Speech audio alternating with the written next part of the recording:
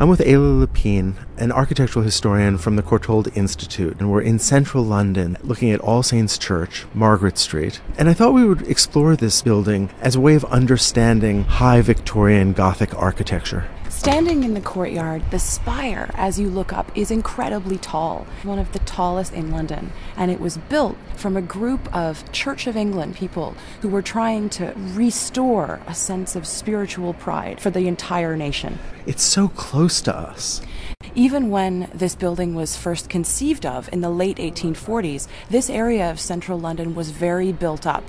And so William Butterfield, the architect, had to think very strategically about how he would include a courtyard space, a full church with a grand nave and a large sanctuary, and everything required for this wonderful manifestation of the medieval world brought into modern London in this really teeny tiny confined area.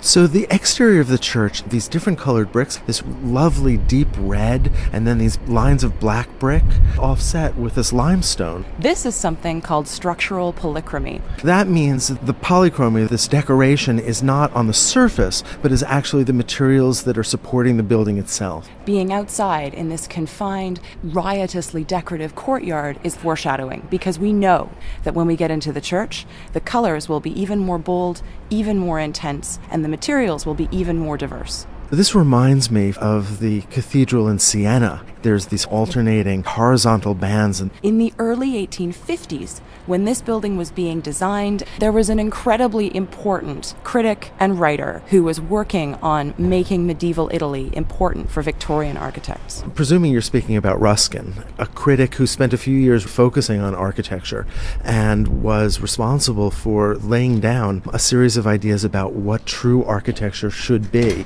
That the Gothic revivals to date in England had really missed the point. Absolutely. What he believes is that in order to build honestly and to build sensitively for a new age, you have to look back to the past. And instead of looking back to England's past specifically, he looks back to continental Europe, both in terms of materials and techniques and in terms of a sense of medieval piety. So there was a sense that there was a kind of authentic life that had been lost in our new industrial culture? Certainly, and Ruskin was also a major critic of industrialization. But it's one thing to have a theorist, a critic, developing these ideas. It's another thing to have them made real, to find somebody who's willing to put up the money, to find people who want to worship in that kind of environment. So, what's happening in England that allows for this to actually come to fruition? In the 1830s, something called the Oxford Movement begins unimaginatively enough in Oxford with a small group of academics who are convinced that the Church of England really needs to be revivified. And they look to times before the Reformation. So, looking back to Catholic traditions. And even earlier to the Church Fathers, who were in the first centuries of Christianity. And it starts off as a very intellectual movement, it's about theology. But then later in the 1830s, a group of men in Cambridge begin to think about how art and architecture of the Middle Ages can help to promote that earlier Oxford vision. So it comes out of those two universities. And eventually, that group in Cambridge become the Ecclesiological Society. And they're ideological sponsors of this building. Like A.J. Beresford Hope, who's also a politician and who's a very important writer and thinker in his own right, who puts up the money to create All Saints Margaret Street behind us. All right, well, let's go in and take a look.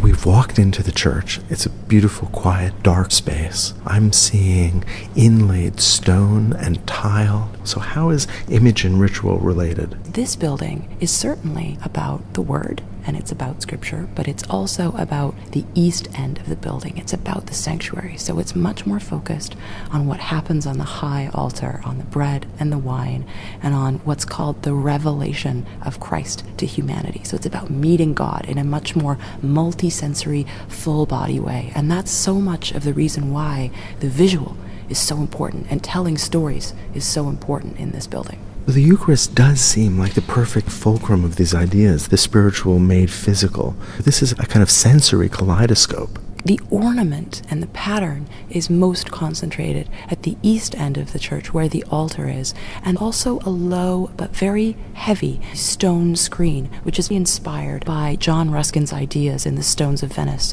which seems in one way to separate the congregation from all of the special things that are happening in the sanctuary where the bread and wine will be broken and then distributed, but it also highlights it. That screen reminds me of Santa Sabina in Rome, that really old basilica church. Because Santa Sabina is such an early example of Christian architecture, it is a real source of inspiration for Victorian architects. As you were mentioning authenticity before, and what this building is trying to do is genuinely capture all the generations of Christian history, right from the first century. As we approached the east end of the church, the light came in through this clerestory, and the sanctuary is now much brighter. Instead of having big windows on the ground floor, they're actually up above the main arcades on either side. So we have a sense of light descending from above with all of the kind of divine symbolism that comes along with that. It's a very typical way of introducing light in a medieval building. So what we can see on the east wall is the life of Christ. Very historicized, like the building itself. This is clearly a kind of Victorian conception of 14th century Italian art. In the 1840s, when this building was conceived, William Dyce, a very famous Victorian painter, was invited by the patron and by Butterfield, the architect, to paint saints and the life of Christ on the east wall. This deteriorated, and soon afterwards, John Ninian Comper repainted Dyce's work in his own style. Comper loved early Italian Renaissance painting. I want to go back to the artist Dyce for a moment. I'm thinking about some of Dyce's landscape paintings, like Pegwell Bay, for example, which shows his family picking up perhaps shells and a kind of interest in the natural world, in natural science. And yet, to think of him in this context, painting the spiritual, there lies an interesting tension in the 19th century between the development of Darwinian thinking, geologic time, and then here, spiritual understanding, spiritual time. Actually, there was a much more integrated way of thinking about God and science in the mid Victorian period. In this church, there's stone that was chosen that actually includes fossils.